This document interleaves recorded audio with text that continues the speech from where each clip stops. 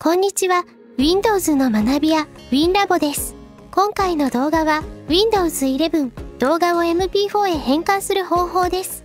動画には様々なファイル形式がありますが、やはり何に使うにも MP4 が一番扱いやすいというものです。そこでこの動画では Windows 11に入っているクリップチャンプを使用して動画を MP4 に変換する方法を解説します。AVI、MOV、WMV、M4V、MTS、OGV、WebM どれでも MP4 に変換できます。それではスタートです。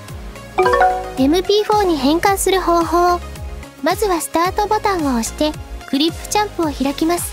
スタートメニューにない場合はすべてのアプリボタンを押してクリップチャンプを開いてください。新しいビデオを作成ボタンを押します。クリップチャンプは Windows 11の標準動画編集ソフトです。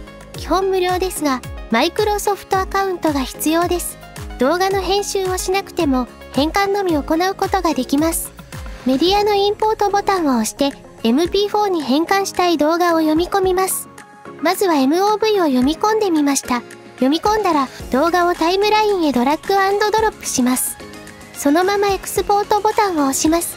出力できる解像度は 480p、720p、1080p の3種類に限られます。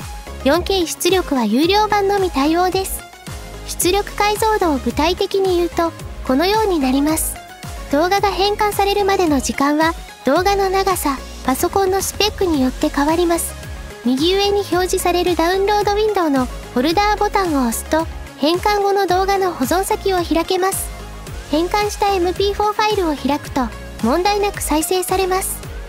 続いて、その他のファイル形式の動画も変換してみましょうというところですが、やり方はすべて同じです。メディアのインポートボタンで読み込んでエクスポートしてください。動画の変換が終わったら、編集を続行ボタンを押して、左上のメニューボタンを押します。ホームに戻るを選択してください。下へスクロールすると、動画のプロジェクトが保存されています。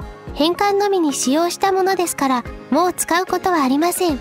残しておくと、ストレージの容量を圧迫してしまうので、右上の3点ボタンを押して、削除しておくことをお勧めします。プロジェクトを削除したからといって、変換した動画が消えることはありません。今回のまとめです。今回は Windows 11で動画を MP4 に変換する方法というテーマでお送りしました。Windows 11標準の動画編集アプリ、クリップチャンプで変換することができます。クリップチャンプで読み込める動画なら、エクスポートするだけで簡単に MP4 に変換することができます。